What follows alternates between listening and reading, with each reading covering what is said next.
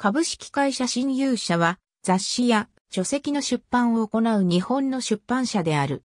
太陽図書から独立する形で1995年に創業。Windows 10 0% IP を中心にファイル共有ソフトや技術的保護手段を回避するソフトの紹介など、アンダーグラウンド系を含むパソコン雑誌からパズル誌、格闘技誌、実用書、ムックの発行を行っている。かつては成人向け漫画やアダルトゲーム等の関連雑誌も発行していた。2007年3月に株式会社マックスに成人向け漫画雑誌事業を移行させたが、2015年10月に新勇者に権利義務全部を承継し解散。2018年2月21日現在、成人向け漫画雑誌の新規発行は行われておらず、過去に発行した単行本、画集の電子書籍版をマックス名義で販売するのみである。2016年10月3日に有限会社プライマリーとともに日本初本格商品テストサイト360ライフをオープンした。関連会社には文部科学省検定教科書の発行、供給を行う日本教科書株式会社がある。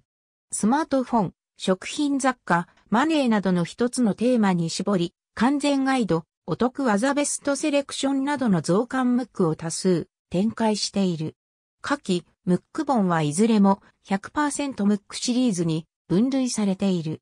その他のムックマックスへ移行2007年7月18日、頭が良くなるインド式計算ドリルを発行するベストセラーズとインド式東大生が教える。超計算ドリルを発行するメディアボーイズに対し、進む勇者発行のインド式計算ドリルとタイトルデザインなどが類似し、購入者が誤解するとして抗議文を送った。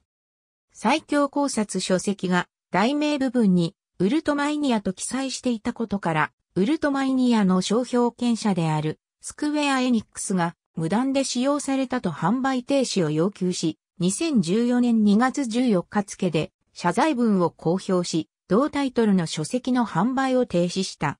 ウルトマイニアという記載のない最強考察を関する書籍は、続編が制作されている2016年4月2日、出版の電力自由化が丸ごとわかる本において、比較サイト株式会社が運営する新電力比較サイトからの無断転載が発覚。同社からの指摘を受けて2016年5月9日付で謝罪文を公表した。2020年10月7日付で2016年6月以降に発売した間違い探しフレンズ、点つなぎフレンズなどパズル雑誌6種類計47冊、複数紙でまたがって行われた10のキャンペーンで検証品を読者に送っていなかったことを公式サイト上で公表し謝罪した。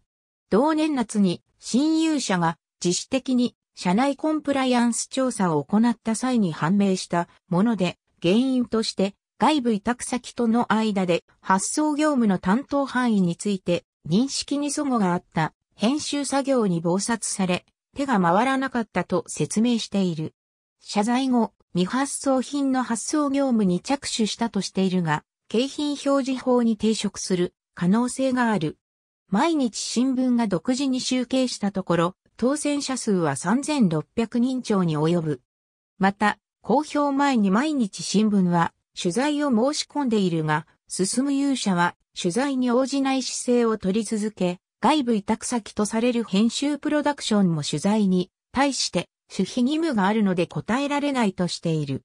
2021年3月24日には総計115冊の雑誌の検証や景品合わせて7から8000点を発送していなかったとして消費者庁から景品表示法違反で再発防止を求める措置命令を受けた。